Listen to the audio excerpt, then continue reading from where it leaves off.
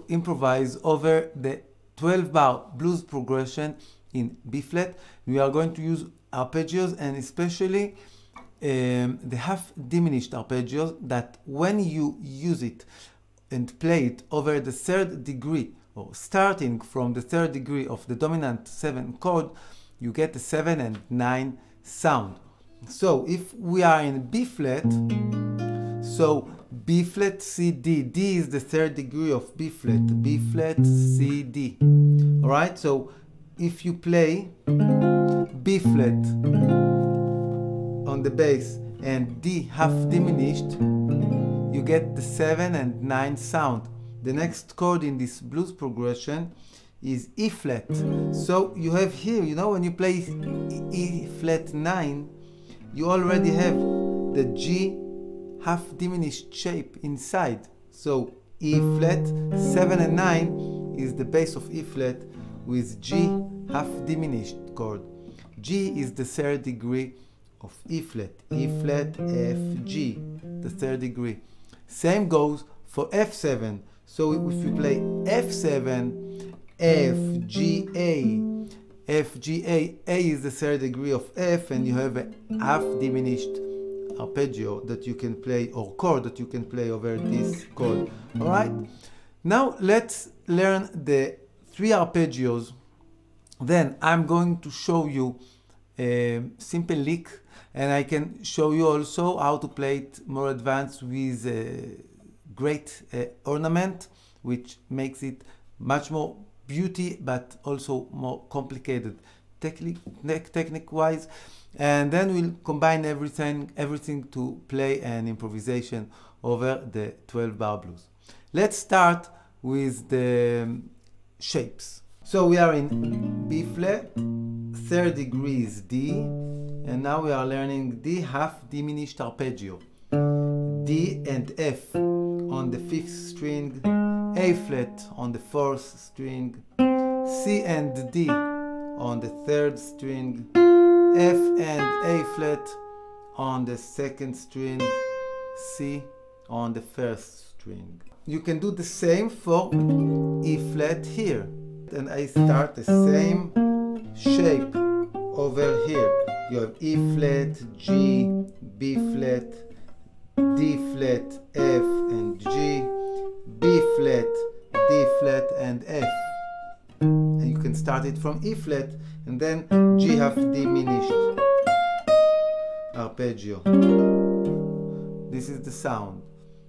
Now let's see the second position that I'm showing you today. It's for the fifth string. So we start on E flat and the arpeggio starts from the note of G here. So G and B flat on the fourth string, D flat on the third, F and G on the second string, B flat and D flat on the first string.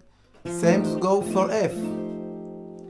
F and then we start the A half diminished from the fourth string. A, C on the same string on the fourth string, E flat on the third string, G and A on the fourth string, C and E flat on the first string.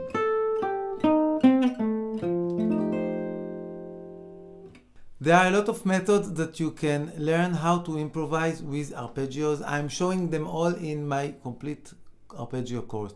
But here I want to give you for each shape a phrase that you can play in a very simple way or you can add a trill, an ornament to decorate it and to play it much more beautiful and then like a Lego we will connect the four pieces together with a nice melodic idea to have a complete improvisation over the blues. Let's start with the first lick.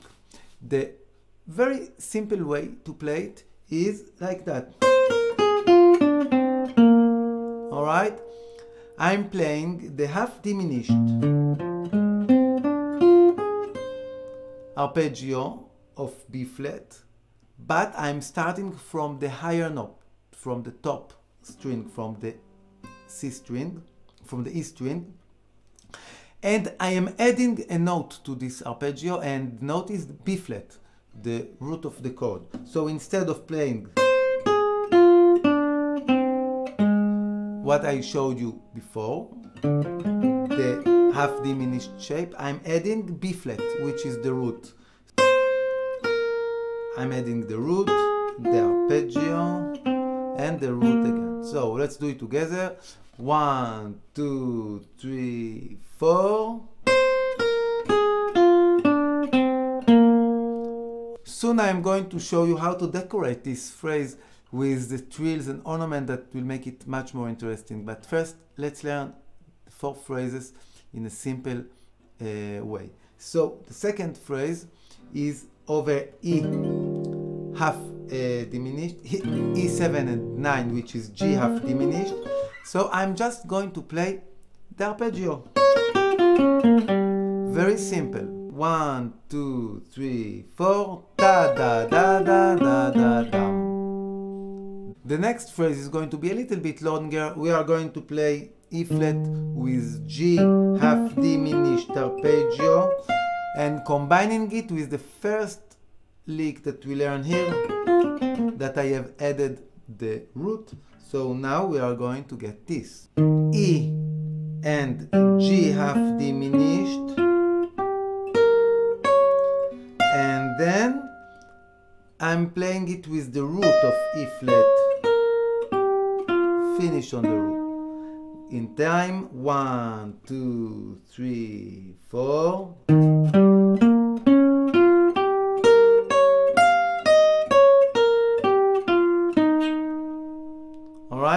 Very simple.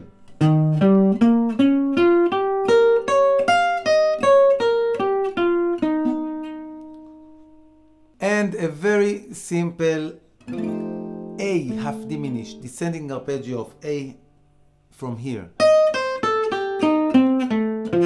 I finish on F because it's over the chord of F. One, two, three, four. So we have four phrases. Let's hear them over the blues progression.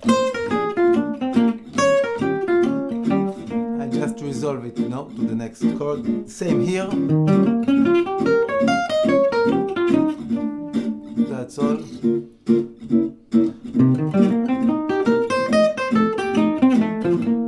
Alright, so I just added C minor 7 uh, arpeggio. Let's learn it too. I start from C, E flat, G, B flat and C, alright?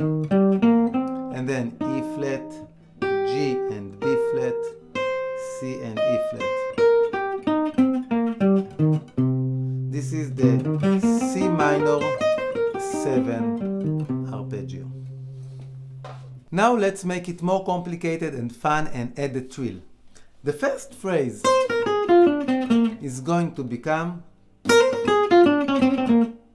Alright, much more interesting, right? So the trill is I play down for the first note and then hammer on on the tone above and up for B flat. So instead of I'm going to play Alright?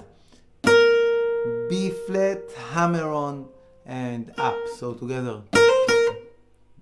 All right. This is the first of the phrase. Down, hammer on, up, down, up, down. Now I'm going to connect these two notes, these two notes, chromatically. So Alright, so you have chromatic movement between these two notes and for this note, after I played the downstroke, again, hammer on and up. Down, hammer on, up. It's the same trill. We are going to do the same trill all this lesson. Down, hammer on, up.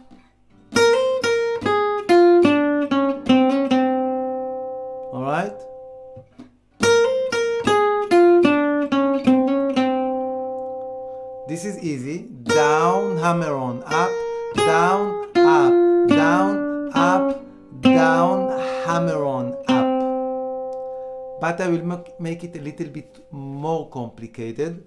I want to play this part double time faster so I can land on the last note on B flat. Down, hammer on up, down, up, down, up, down, hammer on up. The next phrase is E flat over E flat 7.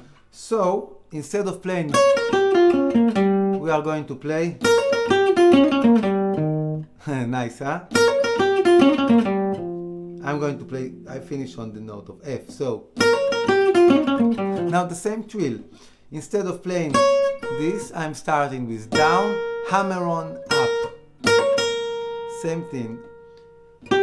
Down on the second string the same.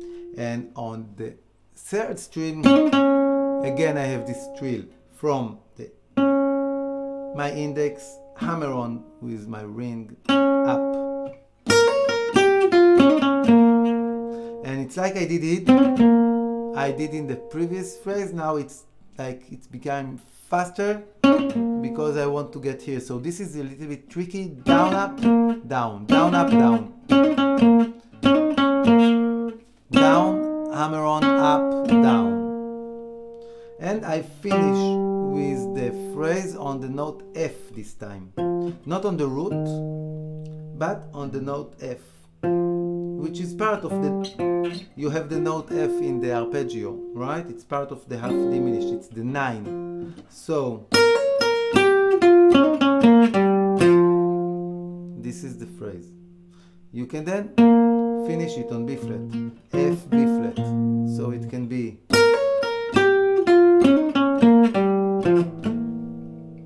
Let's move to the third phrase. It was.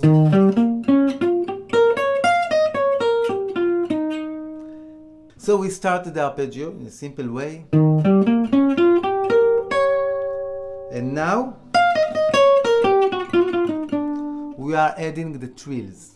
F, up for the note of E flat, hammer on on the note F. So you have down, up, hammer on, down, down, up, down, down, up, down, down, up, down. This is a great exercise. You can practice it. And then I continue with the arpeggio and do the same thing I did in the first phrase. Connect the 3 with the 9 chromatically. Down, up, hammer on, up. And I finish here and resolve to the note. It's a note of B flat. Down, up, hammer on, down. Continue with the arpeggio chromatically and from the note F I do the trill again. Down, hammer on, up, down, and I resolve to the chord, don't note of D. All together. From the top.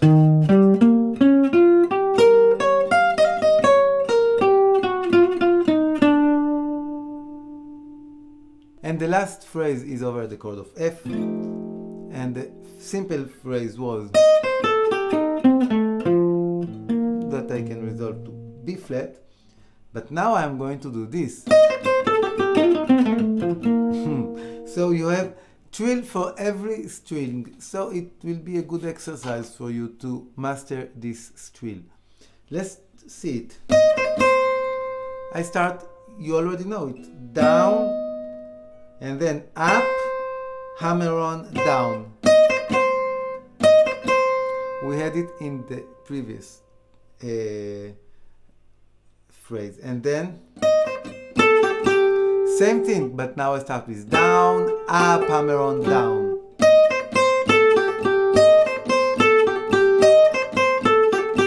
Alright, now from the third string, I start from my index, down, hammer on, up.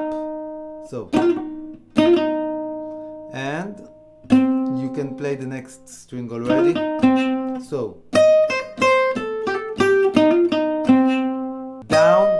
up hammer-on, down, down, up hammer-on, down, down hammer-on, up, down. And the last one,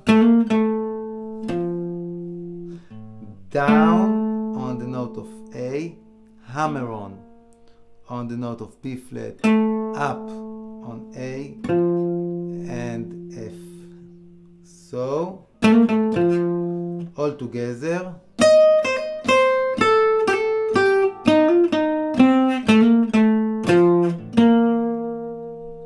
Finish it on the note of B flat. Down, up, hammer on, down, down, up, hammer on, down, down, hammer on, up, down, down, hammer on, up, down, and you finish it.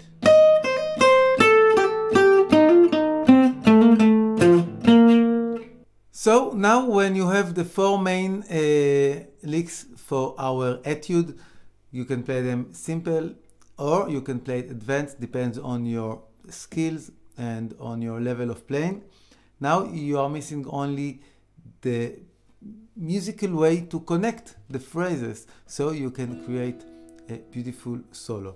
So I'm going to show you a very simple idea that I show in my blues course, one of the ideas that I show in this course, and it's connecting uh, degrees of the chords in a chromatic way. So we are in B flat, it's a blues in B flat, and from B flat to D, B flat is the first degree, D is the third degree. We can connect it, connect them chromatically through the two. One, two, chromatically to the three.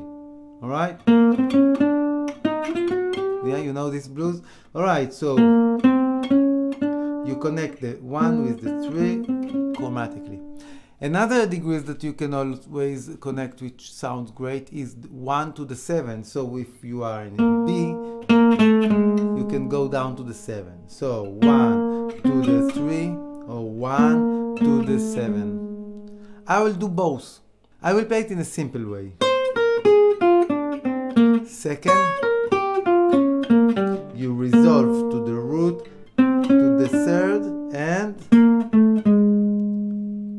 7. From the 1 to the 7. Now you play the third phrase.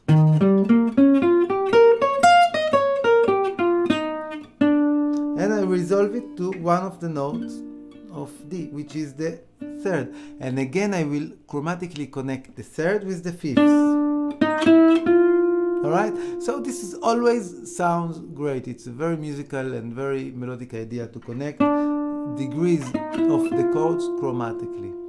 And I will go down to C minor, the next chord. By thirds, you can do it you know, chromatically with thirds it works great. So you have F and D, D flat and E, C and E flat. All right. So I had I was here.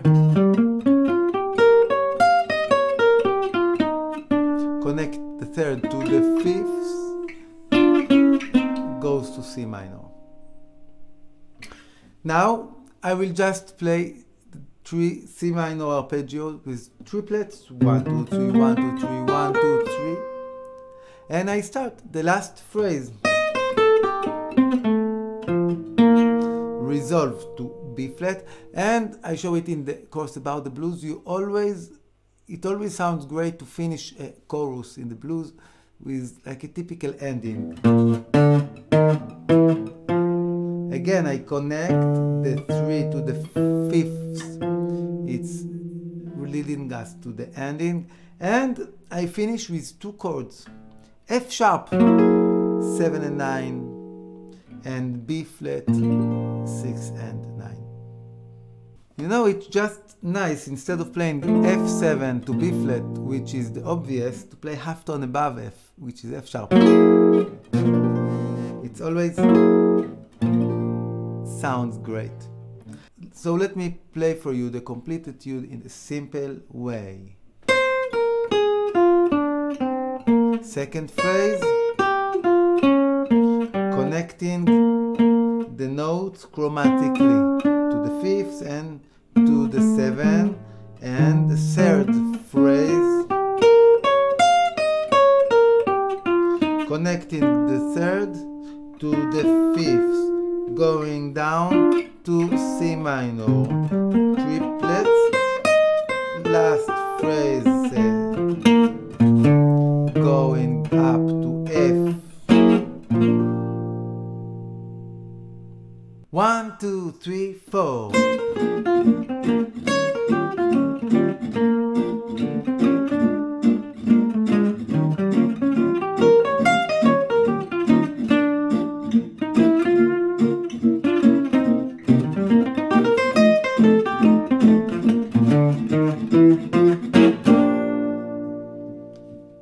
Now, would you like to try this with the advanced way to play the phrases?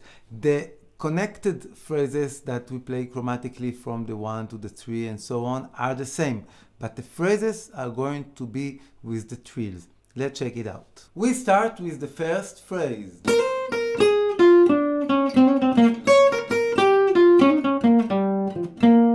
Connecting chromatically. Third phrase.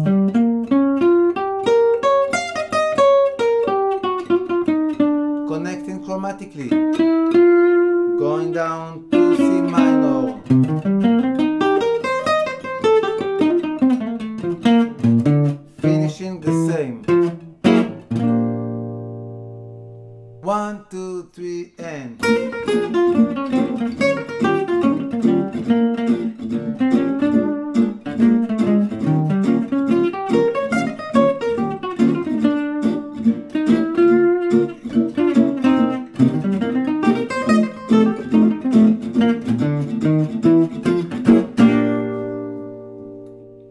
Alright, I hope you enjoyed this lesson. If you did, please leave me a comment in the comments area below so I'll know about it. And also, I would love to answer your questions if you have any. And a big credit to Eddie Pollack who built this great guitar and this guitar which I really love to play over. Thank you, Eddie. This is an archtop guitar that you can connect to an amplifier and have a great uh, warm side sound, or you can also play it acoustically and have a very loud sound just like a gypsy jazz guitar. Thank you Eddie and thank you thank you guys for watching. Bye bye.